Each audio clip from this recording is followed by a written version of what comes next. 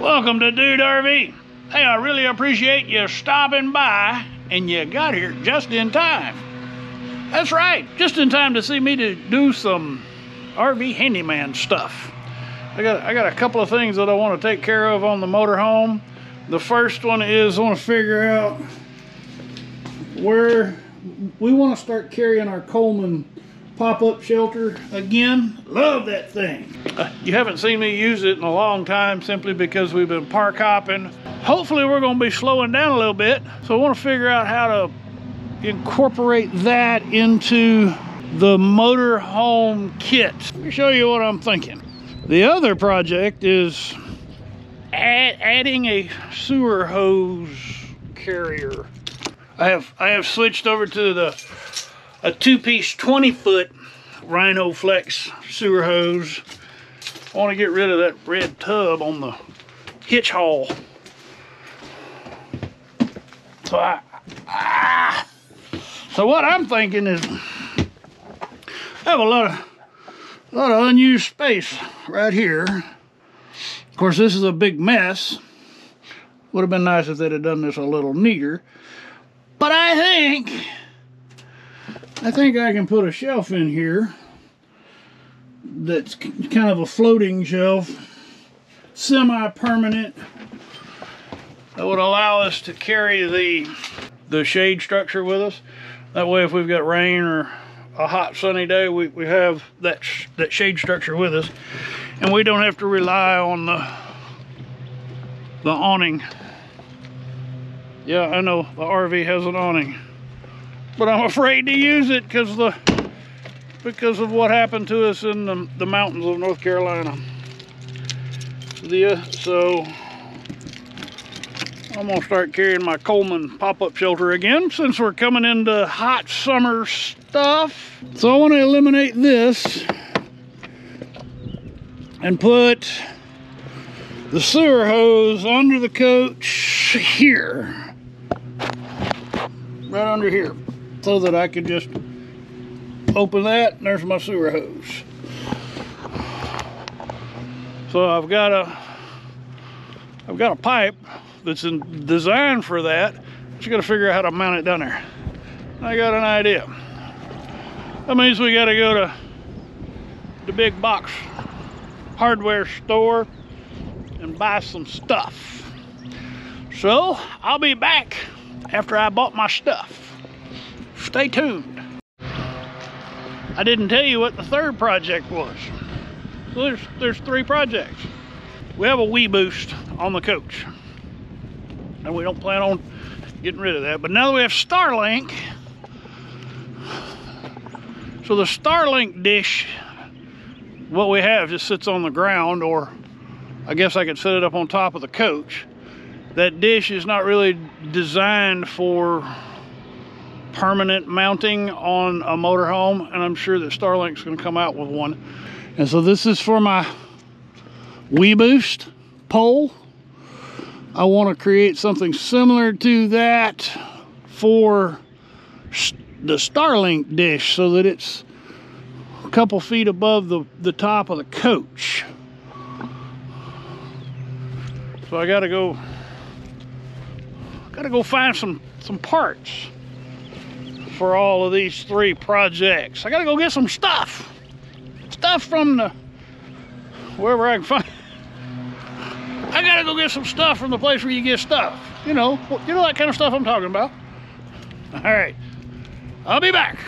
So, I forgot to, I forgot to start recording. I forgot all about you. I was so caught up in my project that I forgot to, I forgot to start the recording button. I've got the shelf installed. So what I did was I I put in some some little stiff legs. So I put a little block down there in that corner. And then I have a a saddle block sitting on top of that. I did the same thing on the other end. That way we have a support for the 1 by 12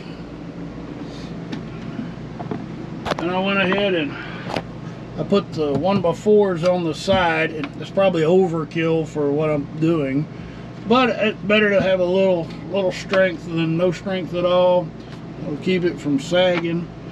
And if I measured right, there should be just enough room for the package. So let me go get the package.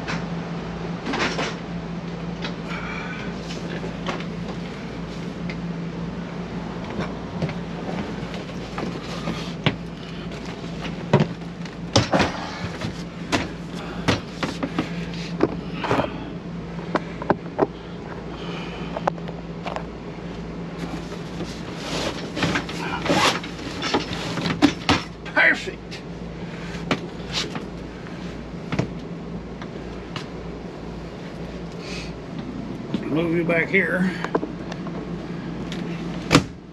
Nice and tight. So now we have usable storage in a in a previously useless place. Okay, on to number two. Have the camera going so I won't forget this time. Gotta close the slide so it's a little easier to get under there. So this is the Valterra Easy Hose Transporter. Basically just a long plastic tube with a locking cap on the end. Bracket is just over six inches wide, so the one by six is going to be our support platform. It's going to end up something like that. I am using a treated 1 by 6 Hopefully we don't get any more warpage.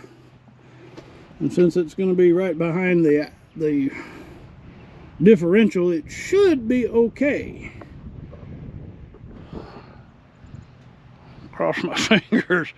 There's not any other place to put this, so uh, I've, I've given this lots of thought. I thought, you know, maybe I could put it under here, but putting it under the basket but still I, I would rather have it right there by the right there.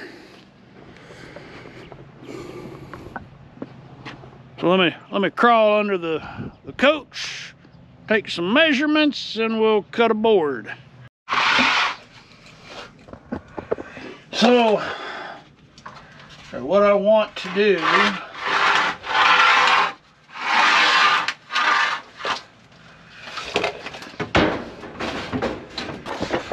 want the end of that holder pipe to be right at the edge of the coach. Not sticking out, but right there convenient. And then I'm going to screw it to both of these struts. It's going to come to right up there. That should give me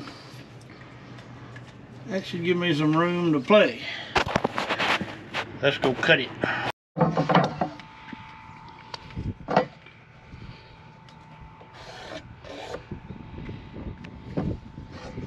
Speed Square.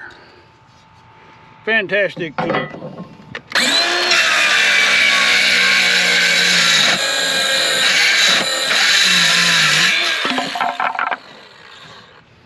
Cut it a little bit long better too long than too short. I, I did it again. I got I got started working and just forgot to hit record. All right, so I, I've cut the board and then I doubled it up because this is going to be hanging out a little bit. And I don't need a scrap piece of lumber laying around anyway. So now it, it actually will be at a bit of an angle when it's under there. That way if there's any moisture in it, it will run out. Now this, this tube actually has a removable cap on both ends. So I'm actually going to wrap a piece of wire around that one, make sure it doesn't disappear. And then I'm going to put a put wire around both ends, just in case we have a screw back out. A little safety wire. So let me, let me get the safety wire in place and then we'll crawl back under and start doing some screwing under there.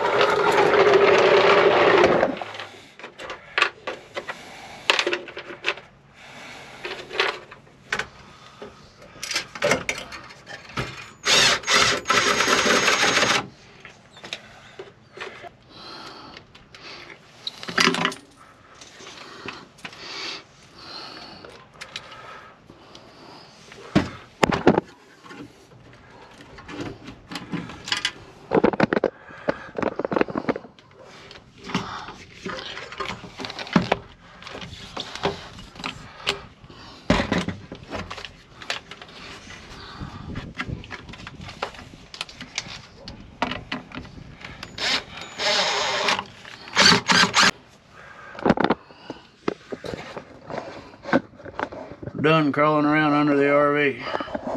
Now we can go work on the fun project. All right. Uh-oh. Pick that. no way, no. All right. Important thing is I've got the, I have a place for the sewer hose.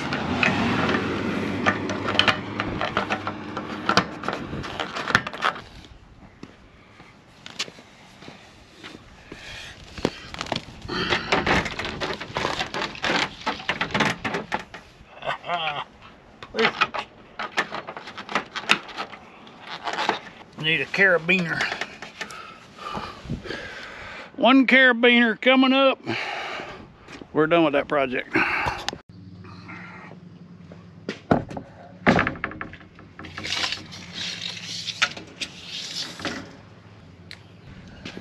Six feet.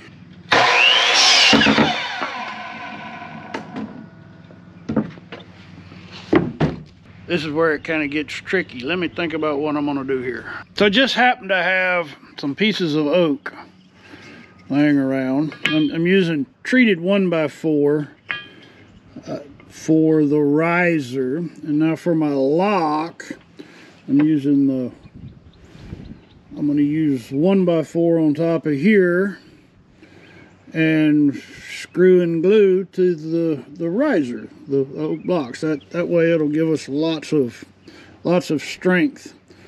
Going with a, a lighter weight wood a pine we wouldn't have as much strength in this lock.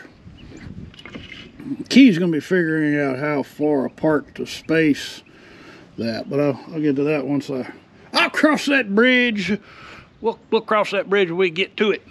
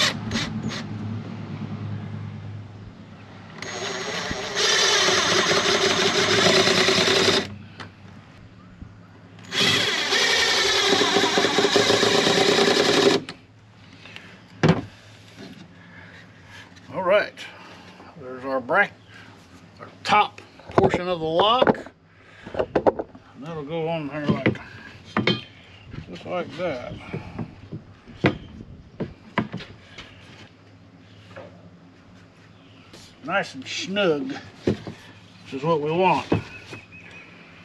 So now, figure out exactly where that one needs to be placed.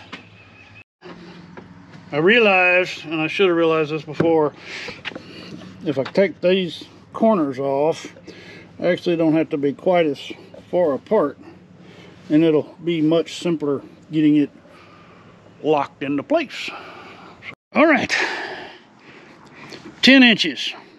The top block to the bottom block, bottom block to the top block. That's our, seems to be the optimal spacing. 10 inches. I'm gonna screw and glue. So that's what it looks like up close. Before I clamp it, we're gonna go do a temporary clamp. And we're gonna have to cut the pipe. So there's how I'm gonna mount that. I still need to build my my socket. Had to run to town and get some screws. And then I got back and I forgot all about the camera. Shooting video and fabricating make things doubly challenging because you, you, gotta, anyway, it, it's difficult for me to do both. So I am approaching the, the finish line here with our Starlink and dish mount. I went ahead and added a, a stiffening piece, just a little piece of poplar I had, because I noticed the board, the, the one by had a bit of a warp to it, and it was making it bind up. Now, I did have to spend some time sculpting because this, so I'm using my, my, the pipe that I'm using is inch and a quarter EMT and I cut my block inch and a quarter. That should have been a an inch and a half to give me a little play with the the, the pipe. But I went in and used the belt sander and sculpted that so that it's actually a very uh, it's a nice snug fit but it's not sloppy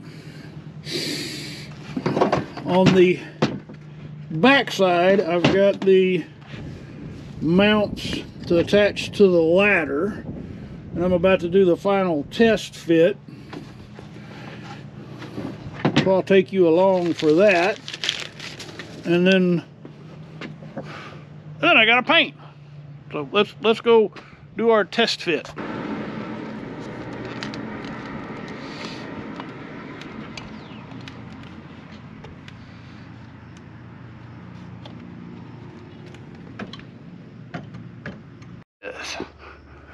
it worked.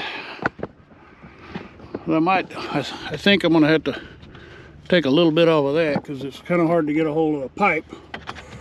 And with the weight up there, gonna be a bit of a challenge. Concept works. So I also put a block in here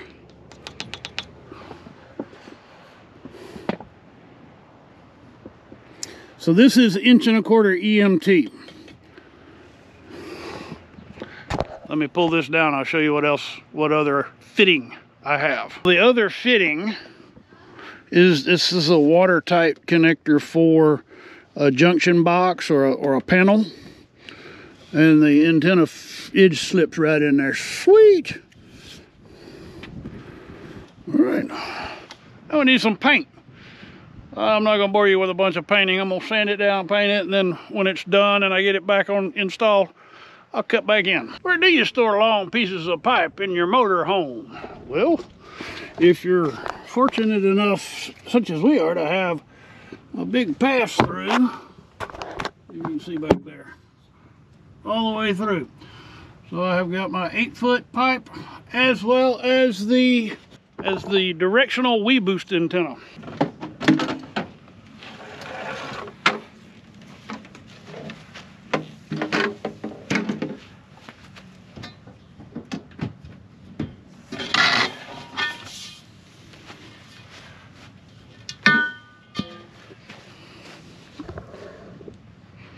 Where you hold them long pipes. All right, let's let's take a look at what we've got going on the back here. So here is here's what it looks like now. So while it, we had a, we had a week worth of rain, and while it was raining, I went ahead and put together a holder for the WeBoost antenna as well. Kind of give us a little bit of symmetry there.